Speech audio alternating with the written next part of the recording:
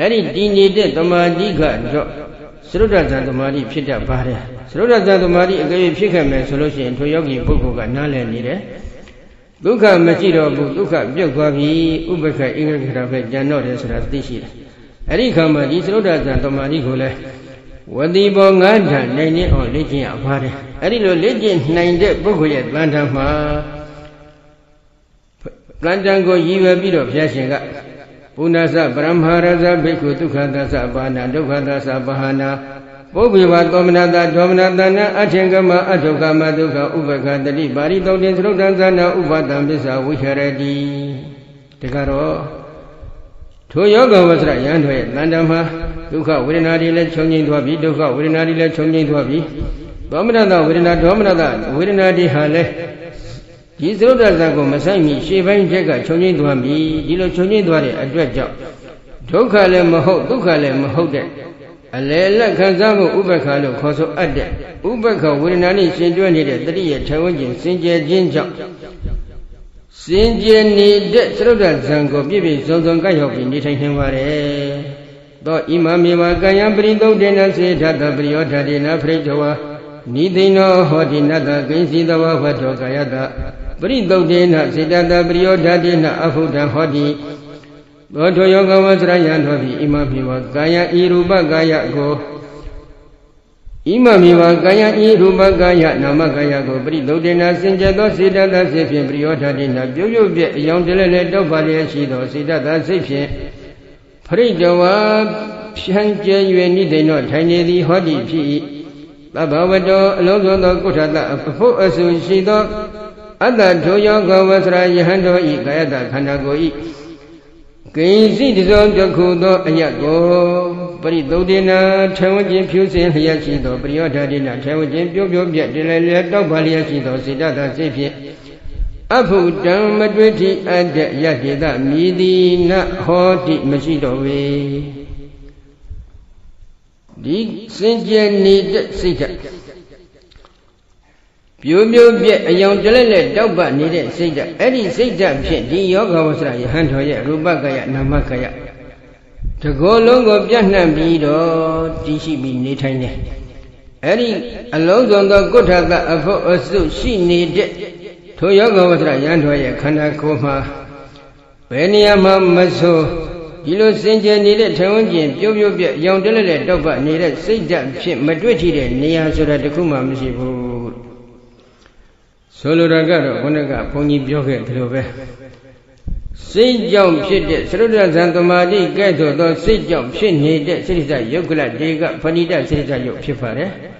စိတ်တစ်ခုတစ်ခုသည်စိတ္တယုတ်ကလပေါင်းများစွာကိုဖြစ်စေနိုင်တဲ့စွမ်းအားရှိတယ်သရုဒ္ဓဇံသမာဓိကိုတဏှာယဝင်စားရင်တဏှာယအတွင်းမှာဘယ်လိုမှရည်တွက်လို့မနိုင်လောက်အောင်များပြားလှတဲ့သရုဒ္ဓဇံစိတ်တွေကဇက်တဲ့ဖြစ်နေပါတယ် ထိုဇံစိတ်တိုင်းဇံစိတ်တိုင်းသည်စိတ်တဲ့ခဏတိုင်းစိတ်တဲ့ခဏတိုင်းရဲ့ဥပကာလတိုင်းမှာစိတ္တယုတ်ကလတေကိုဖြစ်စေပါတယ်အဲ့ဒီစိတ္တယုတ်ကလတေမှာဓာတ်ခွဲကြည့်လိုက်ရင်ကလတ်တစ်ခုတစ်ခုမှာပထဝီယဘောတေဇောဝါယောအစဉ်အနတ်ယတာဩဇာဆိုပြီးသဘောတရား၈ခုစီရှိအဲ့ဒီ၈ခုထဲမှာဝဏ္ဏဓာတ်လို့ခေါ်ဆိုအပ်တဲ့အယောင်အစဉ်လေးပါတယ်သူကဘာတုရ ကြည်လင်တောက်ပါတဲ့သဘောရှိတယ်ကြည်လင်တောက်ပါတဲ့သဘောရှိတော့သူကပရိယောဓာတ်ပြုတ်ပြုတ်ပြက်တလဲလှဲ့တောက်ပါတယ်ဘယ်လိုပြုတ်ပြုတ်ပြက်တလဲလှဲ့တောက်ပါတယ်လို့မင်းရင်ကလတ်တစ်ခုမှတည်ရှိနေတဲ့အယောင်အလင်းနဲ့နောက်ကလတ်တစ်ခုမှတည်ရှိနေတဲ့အယောင်အလင်းတို့ကပုတ်ချုပ်ထိကပ်ပြီးအလွန်နိကစွာဖြစ်နေတဲ့အတွက်ကြောင့်ခန္ဓာကိုယ်တစ်ခုလုံးမှပြုတ်ပြုတ်ပြက်တောက်ပနေတယ်ဒါကအကြောင်းတစ်ခုနောက်အကြောင်းတစ်ခုကအဲ့ဒီစိတ္တယုတ်ကလတိုင်းမှလည်းတေဇောဓာတ်ကပါဝင်များနေ ဒီတေဇောဓာတ်တိုင်းကလည်းစိတ္တယုတ်ကလအသက်အသက်ကိုဣဇဒနာဘကဗိဒအဋ္ဌိပြန့်နှံ့သောအောင်ဖြစ်စေနိုင်တဲ့စွမ်းအားရှိတယ်အဲ့ဒီသရုတ်တဇံစိတ်ဓာတ်ကဲသို့သောစိတ်ကြောင့်ဖြစ်တဲ့စိတ္တယုတ်ခလဒီကိုအခြေခံ၍စိတ္တယုတ်ခလမှာပါတဲ့တေဇောဓာတ်ကိုအခြေခံ၍ဖြစ်ပေါ်လာတဲ့ဒီဥဒ္ဒဇယုတ်ဒီဟာ ယုတ်ကလတဲ့ယုတ်ကလတိတ်မှာဓာတ်ခွဲရင်သဘောတရား၈ခုရှိတော့၈ခုထဲမှာဝဏ္ဏတယူပါယုံလည်းပါတော့အဲ့ဒီယူပါယုံကလည်းဘာတုရရူပအလွန်ကြည်လင်တောက်ခါတဲ့ယူပါယုံဖြစ်တယ်အဲ့ဒီယုတ်ကလတစ်ခုမှတည်ရှိနေတဲ့ယူပါယောအယောင်နဲ့နောက်ကလတစ်ခုမှတည်ရှိနေတဲ့ယူပါယောအယောင်တို့ကအလွန်နိကစွာပုတ်ချုပ်ချိကြိုက်ပြီးဖြစ်ပေါ်လိုက်တဲ့အတွေ့ကိုယ်တွင်းမှာလည်းအလျောက်နေဖြစ်ပေါ်လာတယ် ကိုယ်တွင်သမကထိုဥဒ္ဒဇယုတ်ကလတို့ရဲ့အလင်းအယောင်ကဗဟိကြအထိပြန့်နှံ့ပြီးထွက်ခွာသွားပါတယ်နော်ယောဂီပုဂ္ဂိုလ်ရဲ့သမာဓိစွမ်းအင်အပေါ်မူတည်ပြီးတော့ပြန့်နှံ့သွားခြင်းဖြစ်တယ်ထိုအလင်းရောင်ဖြစ်ထိုအလင်းရောင်တွေဟာပရိသုတ်တထေဝကျင်ဖြူစင်နေတဲ့စိတ်ဓာတ်ပရိယောဓာတပြိုးပြိုးပြက်တလက်လက်တောက်ပတ်နေတဲ့စိတ်ဓာတ်ဆိုပြီးဘုရားရှင်ကဒီလိုချီးမွမ်းထားတယ်အဲ့ဒီစိတ်ဓာတ်ကြောင့်ဖြစ်ပေါ်လာတဲ့အယောင်လေးမျိုးဖြစ်တယ် မိမိတို့ရဲ့စိတ်ဓာတ်မှာဒီလိုစနစ်တကျသမာဓိကြီးဟုသောမြတ်သောကြောက်ပြထက်မှာမြတ်မြတ်ထက်အောင်သွေးလိုက်တဲ့အခါဒီလိုအယောင်အလင်းတွေထွက်လာတဲ့ဆိုတာကိုလက်တွေ့ရှုလို့ရကြမယ်ဆိုရင်ရအောင်ကြိုးစားအထောက်ဖို့မကောင်းဘူးလားသိကောင်းတယ်ဒါဘုရားရှင်ပွင့်လာလို့သိရှိရတဲ့တရားဘုရားရှင်သင်ပေးလို့အထောက်ခွင့်ရနိုင်တဲ့တရား ဒီတရားတွေလောက်ပဲမိမိလောက်ပဲတော့ရောက်လာပါလျက်ဒီတရားတွေကိုမိမိကကြောခိုင်းပြီးတော့အမှောင်ထဲကိုပဲပြန်သွားကျင်တယ်ဆိုရင်တော့မိမိရဲ့ညံ့တဲ့ယောက်ျားရှိအောင်မလားဟမ်အတန်ကတိတ်မများဘူးနော်ဘုန်းကြီးကတော့ညံ့တဲ့စီရင်တဲ့ထဲချင်ပါတယ်နော်ကဲမြတ်စွာဘုရားဘာအမိန့်ရှိတယ်တိယဓပိမာရဇပုရိသောဩဒတေနဝဋ္ဌေနတတိတံပရုပိတဝနိသိဏောအတ္တ နတ္တကိဉ္စီတဘဝတောကာယတဩဒတေနဝဋ္ဌေနအဖုဒ္ဓအတ္တမဟာရဇာတကားတော်မင်းမြတ်တရားဓပိဖြစ်သည်ဖြစ်ရနှခိုင်ဘွယ်ရလောကဥပမာတိကပုရိသောယောက်ျားတယောက်သည်ဩဒတေနဖြူစင်သောဝဋ္ဌေနအိုးဖြစ်တတ်သည်သာဥခေါင်းနှင့်တကွာပါရုပိတောဝခြုံ၍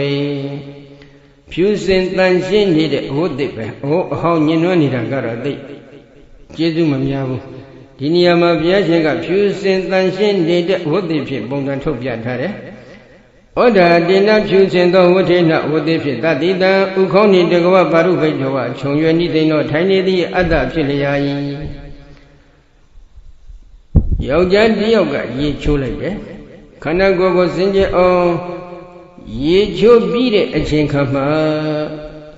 ဥတုလို့ခေါ်တဲ့ကုံဝေးကိုရရှိဖို့ရအတွက်ဖြူစင်တဲ့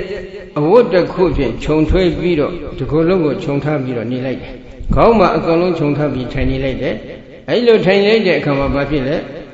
အတ္တထိုယောက်ျားဤတပဝတ္တအလုံးစုံသောကုဋ္ဌသအဖို့ဆိုရှိသောအတ္တထိုယောက်ျားဤကာယတကိုခန္ဓာဤဂိဉ္စီတစွန်ထူသောအယတ္တေတာကိုဩဒါတိနဖြူစင်သောဝဋ္ဌိနဝုဖြင့်အဖုဒ္ဓမတွေ့တိအသောအယတ်ဒေတတိနအတ္တမရှိလျာ ဆိုလိုတာကတော့ဒီနေရာမှာကိုငွေ့ကိုပြောလို့ရင်းပါနော်အဲ့ဒီကိုငွေ့ရအောင်ဆိုတဲ့ဥဒိချက်ဖြစ်ဒီအဝတ်နဲ့ခြုံထွေးထားလိုက်တဲ့အချိန်ခါမှာအဝတ်ကခန္ဓာကိုယ်ကထွက်လာတဲ့အဝတ်အငွေ့ခြေကိုလှမ်းပြီးထိမ့်ထားလိုက်တဲ့အတွက်ဘာဖြစ်လဲဒီအဝတ်တစ်ခုလုံးမှာခန္ဓာကိုယ်ကထွက်ခွာလာတဲ့အငွေ့ဖြစ်မတွေ့ကြည့်တဲ့နေရာဆိုတာတစ်ခုမှမရှိတော့ဘူးဧဝမေဝခောမာရသဘိက္ခု ဣမမေဝကာယပရိသုတ်တေနစေတတပရိယောဓာတေနပရိဒဝနိတိနောဟောတိနတကိဉ္စီသဗ္ဗဝတ္တောကာယတပရိသုတ်တေနစေတတပရိယောဓာတေနအဖုတံဟောတိမဟာရဇာတကရောမင်းမြဧဝမေဝခောဤဥပမာတုတလင်ဘိက္ခုယောဂဝဆရာယဟန်တော်သည်ဣမမေဝကာယံဤရူပကာယနာမကာယကိုပင်လျင်ပရိသုတ်တေနထေဝကျင်ဖြူစင်သောစေတသာစိတ်ဖြင့် ပရိယောဓာတိနပြုပြုပြအယောင်တလဲလဲတောက်ပတ်သောစေတသာစိတ်ဖြင့်ဖရိတဝံဖြန့်ကျဲ၍ဤသိနောထိုင်နေသည်ဟောတိဖြစ်အတ္တထိုယောဂဝဆရာယံတို့ဤတပဝတ္တောအလုံးစုံသောကုဋ္ဌတအဖို့အဆုရှိသောအတ္တထိုယောဂဝဆရာယံတို့ဤကာယတခန္ဓာကိုယ်ဤကိဉ္စီတသောတစ်ခုသောအယတ်ကိုပရိသုတ်တေနာထေဝကျင်စင်ကြဲသောပရိယောဓာတိ၌ပြိုးပြိုးပြက်အယောင်တလဲလဲတောက်ပါလျက်ရှိသောစေတသာစိတ်ဓာဖြင့် အဘုတံမတွေ့ထီအပ်သောအယတ္တိသမြည်သည်နာဟောတိမရှိတော့ပေ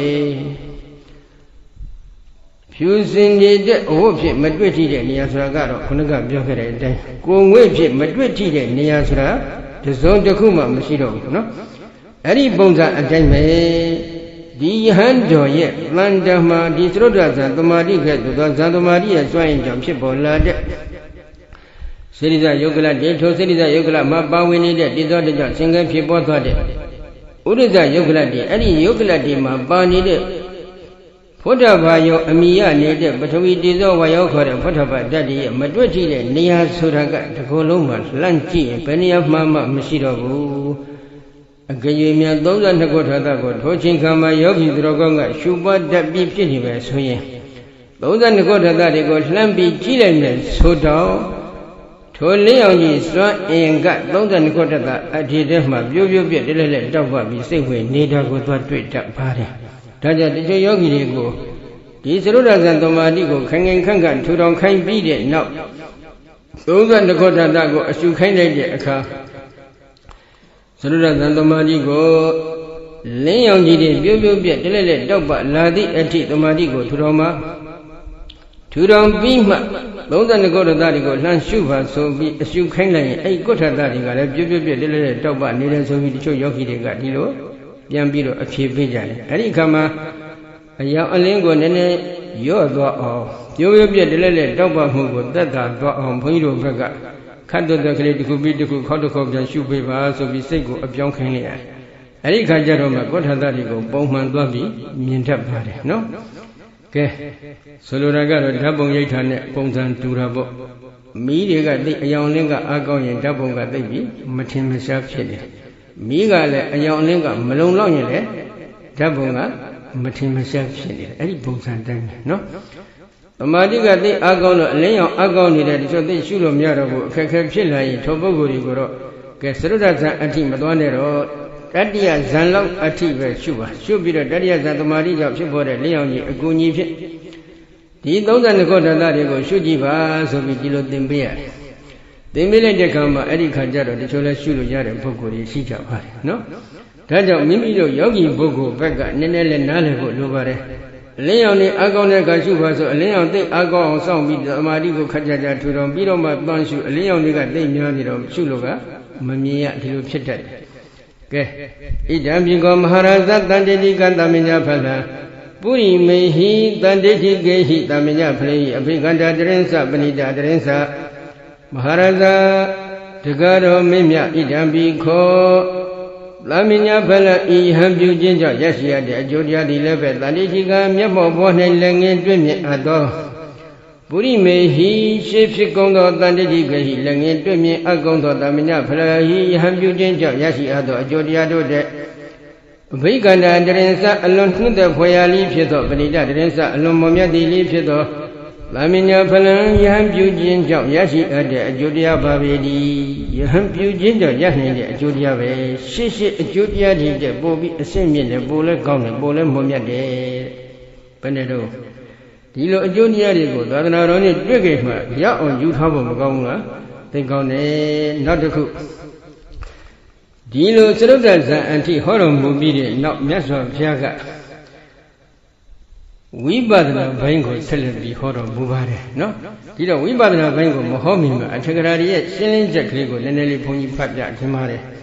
အထက်ကရာကဘာရှင်းလင်းထားလဲ ဣဒဝတစေတရူပဇာနလာဘိယေဝနအာရူပဇာနလာဘိတိနဝေတိတခောဒီလောက်နဲ့ဘုရားရှင်ဟောကြားတော်မူရဟာဘုရားရှင်ကဒီယောဂဝဆရယဟန်တော်ဟာယူဘောဆရဇန်၄ပါးလောက်ပဲရတယ်အရုပဇန်ဒီကိုမရဘူးလို့ဒီလိုတော့မဆိုလိုပါဘူးဒီလိုတော့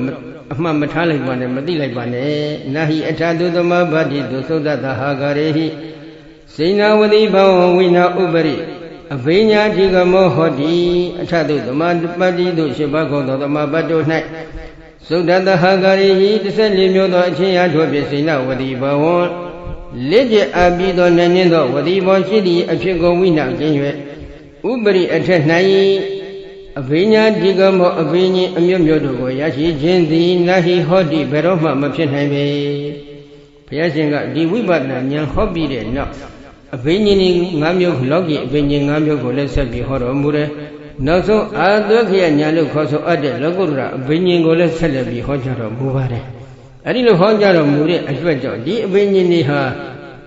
ခုလိုယူပါမစရသရုဒ္ဒဇံလောက်ကလေးလက်ကျက်ထားတဲ့ပုဂ္ဂိုလ်တွေရနိုင်တဲ့လုပ်ငန်းခွင်မျိုးမဟုတ်ဘူးပထဝီကတိုင်းမှသည်ဩဒတကတိုင်းအဋ္ဌကတိုင်း၈ပါးအဲ့ဒီကတိုင်း၈ပါးတို့နဲ့ကတိုင်းတစ်ပါးတစ်ပါးမှတမပ၈ပါးစီ အဲ့ဒီတမပ၈ပါးစီကို14မျိုးသောအချင်းရာတို့ဖြင့်ကြိတ်ချေနိုင်တဲ့စိဏဝတိလက်ကျအဖြစ်တဲ့နိုင်နေတဲ့ဝတိပေါ်ရှိနေတဲ့ပုဂ္ဂိုလ်ရဲ့တန်တန်မှားသားနဲ့ဒီအပင်ကြီးဆိုတာရနိုင်တဲ့သဘောရှိတယ်သို့သောအထက်ကရာများရဲ့သတ်မှတ်ချက်အရာပြုခဲ့ပြောခဲ့မယ်ဆိုရင်တော့တရားအထုတ်တဲ့ပုဂ္ဂိုလ်တွေထဲမှာတထောင်မှတယောက်လောက်ပဲဇံကရနိုင်တဲ့သဘောရှိတတ်ပါတယ်နော် ဇံရနေတဲ့ပုဂ္ဂိုလ်တထောင်မှလည်းအဘိညာဉ်ဆိုတာကတပါးလောက်ပဲရနိုင်တဲ့သဘောရှိတယ်သူကတော်တော်ကြီးကိုကြိုးစားမှရနိုင်တဲ့လုပ်ငန်းခွင်ဖြစ်ပါတယ်သို့တော့ဒီနေရာမှာပြောလို့ရင်ကပါဠိယံပဏ္ဏရူပသန္တာနိယောဝအကတာနိအရူပဇာနာနိအဟာရိတဝကထေတဖာနိပါဠိယံပါဏသမညဖလသုတ်တံပါဠိတော်၌ကရူပဇာနာနိယောဝယူဘဝသရဇံတို့သည်သာလေအကတာနိလာချိကြကုန်၏ အရူပဇာနာနိအရူပဇံတို့ကိုအာရိတဝဆောင်ရွယ်ကထေတဖာနိပြောကြားတိုက်ကုန်၏ဟောကြားတိုက်ကုန်၏ပါဠိတော်ကတော့ယူမောစရဇံအကြောင်းတော့ပဲဘုရားရှင်ကတည့်ရဟောကြားထားတော်မူပါတယ်သို့တော်လည်းဒီနေရာမှာဘုရားရှင်ရဲ့ဆိုလိုရင်အကြည့်ဘက်ကိုတတ်သိနားလည်သွားအောင်မလုပ်ရမလဲအရုပဝစရဇန်ဒီကိုလည်းထုတ်ဆောင်ပြီးဟောဖို့လိုနေတယ် ဘယ်နဲ့တော့မနာခြင်းဘူးလားဟမ်မနာခြင်းလည်းဘုန်းကြီးကတော့ဟောမှာပဲဟုတ်တယ်မလားတရားကသူကအကွက်စီအောင်ဟောမယ်အပိုင်ဖြစ်နေတယ်ဒီတော့ဒီဘာကြောင့်ဘုရားရှင်ကဒီနေရာမှာယူပါဥစရသရုဒ္ဓဇံလောက်ပဲဟောတော်မူရဘာတည်းဆိုတာနဲ့ပတ်သက်လို့ကပရိသတ်ရဲ့အခြေအနေကိုကြည့်ပြီးဟောတော်မူရတာဖြစ်တယ်ပရိသတ်ရဲ့အခြေအနေဆိုတာကတော့ပရိသတ်ကဖင်ကြွကြွဖြစ်ပြီးပုံရတယ်နော် အဲဒီတော့ဖင်ကြွကြွဖြစ်နေတဲ့အခါကျတော့ဘာဖြစ်လို့ဖင်ကြွကြွဖြစ်ရတယ်လို့မေးရင်တော့တရားတော်ရဲ့ဏိဒန်းကိုလှမ်းဖြောပြီးကြည့်လိုက်ပါအဇာတတရဲ့ဒီမှာခြံရနေတဲ့လက်ရင်တပည့်လို့ပြောနိုင်တဲ့မူကြီးမတ်ရာတွေကဘယ်လိုပုဂ္ဂိုလ်တွေလဲတိတ်ကြီးဆရာကြီး6ဦးကိုကိုယ်ွယ်စိတ်ကနေတဲ့ပုဂ္ဂိုလ်တွေကများတယ်ဟိုဆရာစီဘကဆိုတာကဥဒ္ဓဘာသာသူကချောင်ပုနေရဟုတ်တယ်မဟုတ်လား ဒီတော့သူ့နောက်လိုက်ပြိဿတွေကခုလိုဘုရားရှင်ထံကိုရှင်မြင်လာပြီဆိုတဲ့အခါကျတော့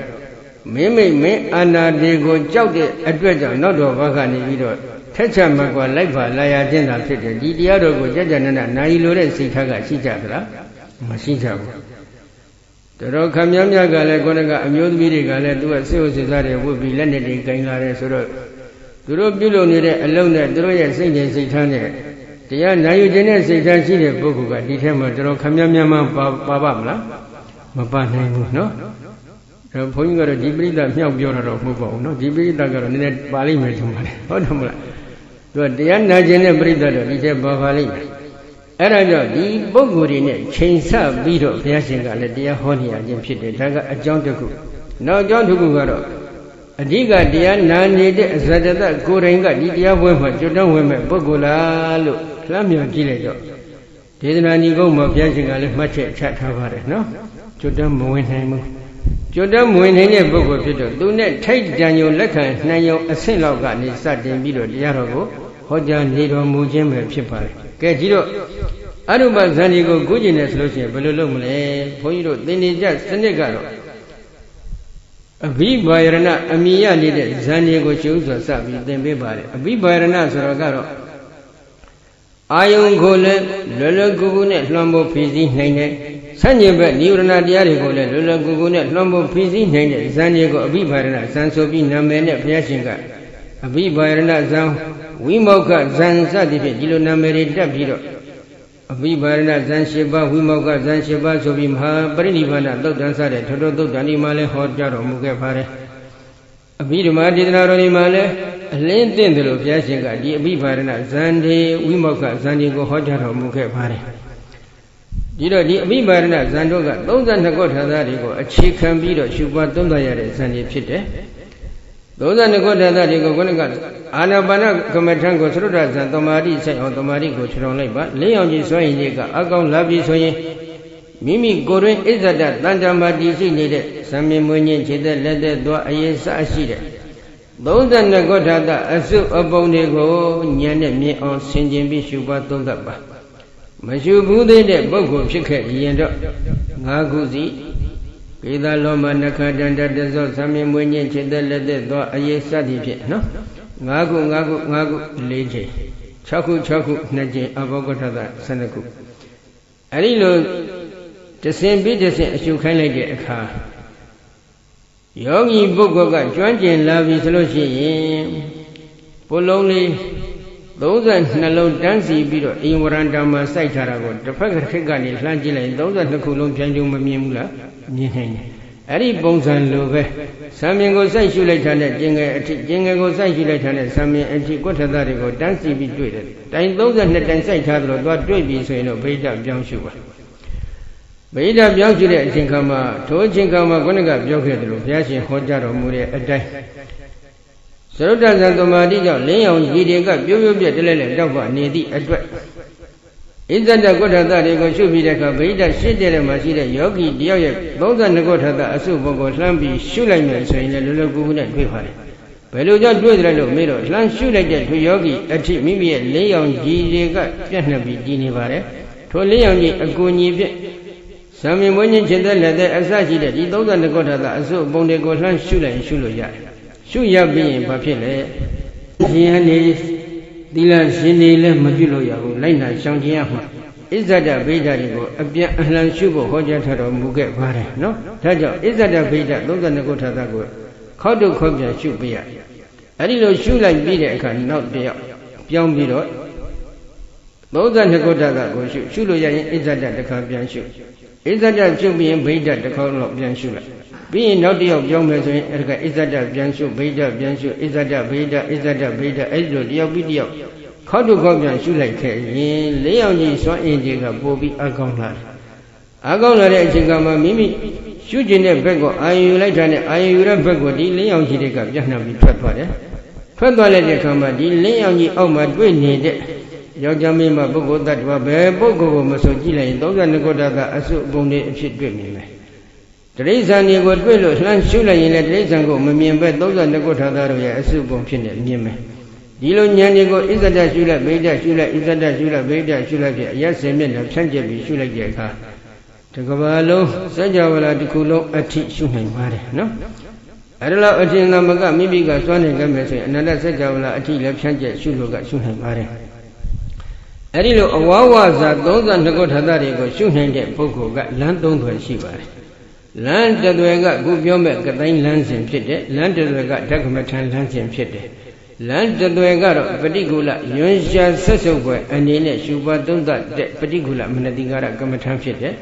ဒီပฏิကူလမနတိကာရရှုခွက်ကိုတော့ဘုရားရှင်ကနာမည်ကျော်ဖြစ်တဲ့မဟာသတိပရဏသုတ်ဓမ္မဟောကြားပြတာဆွဆုံးမှထားတော်မူခဲ့ပါတယ်နော် ဒီတော့ဒီ32ခုဓာတ်တွေကိုပฏิကူလရွှန်ရှာဆက်စုပ်ဖွဲ့အနေနဲ့ရှုတဲ့အချိန်ခါမှာကုဋ္ဌတတစ်ခုစီတစ်ခုစီကိုအာယုံယူပြီးရှုလို့လည်းရတယ်ကုဋ္ဌတအများစုကိုအာယုံယူပြီးရှုလို့လည်းရတယ်ကုဋ္ဌတအလုံးကိုခြုံငုံပြီးတော့ပฏิကူလအနေနဲ့ရှုလို့ရတယ်ရှုခဲ့ရင်တော့ ဣဇာတကုဋ္ဌတတစ်ခုစီတစ်ခုစီကိုအာယုံယူပြီးပฏิကူလယွန်းစရာယွန်းစရာလို့ရှုခဲ့မယ်ဆိုရင်ပထမဇန်သမာဓိအထိဆိုင်နေတယ်ယောဂီပုဂ္ဂိုလ်တွေကိုစမ်းကြည့်လို့ရတဲ့စနစ်ပါတချို့ယောဂီတွေဘုန်းကြီးကစမ်းကြည့်တယ်ရှုစီကြံဘယ်ဇန်အထိဆိုင်တယ်အာသရုဒ္ဓဇန်အထိဆိုင်တယ်ဖြစ်လာပြီဒီလိုဆိုရင်တော့ဒါဘုန်းကြီးဘက်ကတတိထားတော်မယ် လေချပြန်ရှုကြည့်ပါအောင်ဆိုတော့နည်းနည်းတီလိုတီလိုနဲ့သွားပြောပုံရတယ်နော်တီလိုတီလိုနဲ့နှစ်ရက်သုံးရက်လောက်ပြောပြီးတဲ့အခါပုံစံလေးတစ်မျိုးပြောင်းပြီးလျှောက်ပြန်အဲ့ဒါမျိုးဆိုရင်တော့ဒီလိုယောဂီဆိုရင်တော့ကိုယ့်ဘက်ကကမ္မထံပြတဲ့ပုဂ္ဂိုလ်ကတော်တော်လေးသတိထားတော့နော်ဒီတော့ပရမဇန်တမာတိအထိဆိုင်နေပါတယ်ကုဋ္ဌသာတိုင်းကုဋ္ဌသာတိုင်းကိုပရမဇန်တမာတိဆိုင်အောင်ရှုလို့ရတယ်ရှစ်ခေတ်ကပေါ့လေမထေကြီးတွေ အေယတိတောင်လူဘောင်ကိုစောက်ဖန်လာပြီးအေယမတောင်နဲ့ယဟန်ဘောင်တို့ဝင်ရောက်ခါရှင်ဟန်ပြုတ်ပြီးတဲ့နောက်အရတ္တဖို့အဆုံးရှိတဲ့အထွတ်တထားတဲ့အမျိုးကောင်းသားတို့ရတဲ့ရထိုက်တဲ့အကျိုးတရားတွေကိုငါရအောင်ကြိုးစားအထုတ်မယ်ဆိုတဲ့ဥတည်ချက်ရှိနေတဲ့အတွက်ကြောင့်ဘာလို့ကြတယ်ဒီကွဋ္ဌတတစ်ခုစီတစ်ခုစီကိုယွန်းစရာယွန်းစရာလို့ရှုတယ်ယွန်းစရာပฏิကူလအနေအဖြစ်နှလုံးသွင်းပြီးတော့ပရမဇန်တမာတိကိုဝင်စားတာ တနေ့လုံးညလည်းဝင်တညလုံးဝင်စားတယ်နေ့လည်းတနေ့လုံးဝင်စားတယ်တနေ့မှာကုဋ္ဌတတစ်ခုဆိုတော့32ကုဋ္ဌတပြည့်ဖို့ဆိုတော့ရက်ပေါင်း32ရက်ကြာတယ်တခါတလေကြတော့နေ့မှာကုဋ္ဌတတစ်ခုညမှာကုဋ္ဌတတစ်ခုဝင်စားလိုက်တာဘယ်လောက်ကြာလဲ15ရက်ကြာတယ်ပထမဇန်တစ်ခုတည်းကိုအဲ့လောက်အထိဇွဲနှပိကြီးကြီးနဲ့ကြိုးစားအထောက်တော်မူကြပါတယ်နော်အဲ့တော့ခုဒီနေရာမှာဗိဓာကိုရှုလိုက်အစ္ဆတမ32ကုဋ္ဌာတတို့ရဲ့ ယွန်ရှာဆက်စုပ်ပဲပฏิကူလသဘောကိုညာနဲ့မြင်အောင်ကြည့်ပြီးတော့ပฏิကူလအနေအဖြစ်ရှုပါသုံးသလိုက်တဲ့အခါပရမဇန်သမာဓိတို့စိုက်ပြီးဆိုရင်တော့ထိုပရမဇန်သမာဓိမှာခက်ကြကြမနေပဲကုဋ္ဌာတတစ်ခုစီတစ်ခုစီပြောင်းရှုလို့ကလည်းရှုပါအဲဒီလိုရှုပွားနေတဲ့ယောဂီကမိတ္တကုဋ္ဌာတဒီကိုကုဋ္ဌတတခုစီအာယုပြီးအလားတူပဲယွန်ရှာဆက်စုပ်ပဲပฏิကူလအနေအပြည့်ရှုပွားသွန်းသလိုက်တဲ့အခါ ဘာဇန်ဆိုင်တယ်လို့အဲ့ဒါသိချင်တချို့ယောဂီမေးမေးကြည့်ရတယ်ဘာဇန်ဆိုင်တယ်ဘာဇန်ဒီဘာဇန်ဒီဆိုင်တဲ့ပြောပြီဟုတ်တယ်မလားအဲ့ဒီမှာကသူကဇံမဆိုင်နိုင်ဘူးသို့တော့ဇန်အင်္ဂါတော့ထင်ရှားပါတယ်အဲ့ဇံကပရိကမ္မသမာဓိနဲ့ရှင်ကျွမ်းနေတဲ့ဇံတော့မဟုတ်ဥပ္ပစရသမာဓိနဲ့ရှင်ကျွမ်းနေတဲ့ဇံဖြစ်တယ်အတက္ကရာဆရာတော်ကတော့ဥပ္ပစရသမာဓိလည်းမဖြစ်နိုင်ဘူးအပ္ပနာသံသမာဓိလည်းမဖြစ်နိုင်ဘူးလို့ဒီလိုဖွင့်ဆိုထားတယ် မူလဒီကဆရာတော်ကတော့ဒီကုဋ္ဌတဒီကိုလက်ရှိတ attva တို့ရဲ့ကုဋ္ဌတအနေအဖြစ်အာယုံမယူပဲသက်မဲ့သူသေးကောင်းမှတည်ရှိတဲ့ကုဋ္ဌတကဲ့သို့နှလုံးသွင်းပြီးရှုပွားခဲ့မယ်ဆိုရင်တော့ဥပ္ပစရသမာဓိလောက်အထီတော့ဆက်ရောက်နိုင်တယ်ဆိုပြီးဒီလိုဆုံးဖြတ်ထားတယ်အပ္ပနဇံသမာဓိမဆိုင်ပါဘူးနော်မဆိုင်တဲ့အတွက်ကြောင့်ဒီဗိဓကုဋ္ဌတတိကိုအာယုံယူပြီးတော့ ပฏิကူလရောရှာဆက်စုပ်အပွဲအနေနဲ့ရှုလိုက်တဲ့အခါမှာဇိုင်က၅ပါးထင်ရှားလာတယ်ဆိုတော့လေထိုဇိုင်က၅ပါးသည်ဥပ္ပစာရဇံတော့မဟုတ်ပရိကမသမာဓိနဲ့ရှင်တွဲနေတဲ့ဇံဖြတ်တာဖြစ်ပါတယ်အဲ့ဒါတချို့ယောဂီပုဂ္ဂိုလ်တွေကလာမေးတယ်နိုင်ငံသားတွေလည်းပါပါတယ်ဒီဗိဓာကိုရှုလိုက်တဲ့အချိန်ခါမှာတဲ့ပရိကူလအနေနဲ့ရှုတဲ့အခါကျတော့ဘာဖြစ်လို့ဇံမဆိုင်တယ်တဲ့လာမေးတယ်ဒါနဲ့ဘုန်းကြီးကသူတို့ကိုပြန်မေးတယ်ကျေရုပ်ကြိုက်ဘူးလားလို့မေးကြည့်ရတယ် ကျေရုပ်တွေကြိုက်ဘူးလားလို့မေးတော့ဝရုပ်ရောကြိုက်ဘူးလို့ဝက်ချီတော့စားဘူးလားဒါမေးကြည့်ရတယ်မေးကြည့်လိုက်တဲ့အခါဝက်ချီတော့လည်းစားဘူးတယ်ကျေရုပ်လည်းကြိုက်ဘူးလို့ဆိုရင်ယွန်လို့လားမယွန်လို့လားလို့ထပ်ပြီးမေးကြည့်ရတယ်ဘယ်နဲ့တော့ကျေရုပ်တွေဝရုပ်တွေစားနေတာကြက်သားတွေဝက်သားတွေစားနေတာယွန်လို့လားမယွန်လို့လားမယုံလို့ဘောဒါကြောင့်ဗိဒကွဋ္ဌတကရွှေရှာဆက်စုပ်ပွဲအနေနဲ့ရှုပေနဲ့ပထမဇန်တမာတိတို့ဆိုက်လက်အောင်ရွှေရှာဆက်စုပ်ပွဲအချင်းဟာကမထင်လာဘူး မထင်လာနေတဲ့အတွက်ကြောင့်သူကဇန်တမာတိမဆိုင်ဘူးဥပ္ပဇရတမာတိသို့မဟုတ်ပရိကမတမာတိလောက်အထီတော့ဆိုင်တယ်ထိုပရိကမတမာတိနဲ့ရှင်တွဲရည်လက်ဆိုင်က၅ပါးဆိုတာဖြစ်ပါတယ်ဥပ္ပဇရတမာတိနဲ့ရှင်တွဲရည်လက်ဆိုင်က၅ပါးဆိုတာဖြစ်ပါတယ်အဲဒီလိုဖြစ်နေတဲ့အတွက်ယောဂီပုဂ္ဂိုလ်ကဘာလုပ်ရမလဲအချင်းရခဲ့မယ်ဆိုရင်တော့ကုဋ္ဌတတခုစီကိုအာယုယူပြီးတော့ပရိကူလအနေနဲ့ရှုကြည့်ပါဇာယင်ကထင်ရှားရင်နောက်ကုဋ္ဌတတခုကြောင်းပြောင်းလို့ကလည်းပြောင်းနိုင်ပါတယ် သို့တော့အကယ်၍ကတိုင်းသွားတော်မယ်ဆိုလို့ရှိရင်ဘုန်းကြီးတို့အယောင်ကတိုင်း၄မျိုးထဲမှာသံမြင်ကဲ့သို့သောညိုနေတဲ့ကုဋ္ဌတတွေကိုအာယုယူပြီးတော့အညိုရောင်ကတိုင်းကျင်ငယ်ကဲ့သို့ဝါနေတဲ့ကုဋ္ဌတတွေကိုအာယုယူပြီးတော့အဝါရောင်ကတိုင်းတွေးကဲ့သို့ညီနေတဲ့ကုဋ္ဌတတွေကိုအာယုယူပြီးတော့အနီရောင်ကတိုင်းအယုကဲ့သို့ဖြူနေတဲ့ကုဋ္ဌတတွေကိုအာယုယူပြီးတော့အဖြူရောင်ကတိုင်းတွေကိုရှုမယ်ဆိုရင်သရုဒ္ဒဇံတမာတိအထိဆိုင်နိုင်ပါတယ် ထိုဇန်တမာတိတွေကိုအခြေခံ၍အရုပဇန်ဒီကိုကုခဲ့ရင်လည်းအရုပဇန်တမာပတ်၄ပါးရနိုင်ပါတယ်အဲဒါကြောင့်သူကဒီအယောင်ကသိန်း၄မျိုးထဲမှာဘုရားရှင်ကချီးမွမ်းတော်မူတာကဩဒဒကသိန်းဖြစ်ပါတယ်။ဘာကြောင့်ဘုရားရှင်ကဒီဩဒရကသိန်းကိုချီးမွမ်းတော်မူရဘာတလဲဆိုတဲ့အချက်နဲ့ပတ်သက်လို့ယောဂီတွေကိုလည်းဘုန်းကြီးတော်ခမည်းများသူဒေသနာပြုကြည်ပါတယ်။ ယောဂီတော်ခမည်းများကတော့ဒီအဖြောကတိုင်းကိုတမာတိထူထောင်ပြီးတော့ဇန်ဒီကိုဝင်စားရတာသို့ဇန်တမာတိဒီအာနာပါနဇန်ဒီတက်ပို့ပြီးငြိမ်သက်အေးချမ်းတယ်ဆိုပြီးဒီလိုအဖြေပေးကြတယ်။သို့သောတချို့တချို့ယောဂီတွေကြတော့အာလောကကတိုင်းကိုပိုနှိမ့်ချိုက်ကြတယ်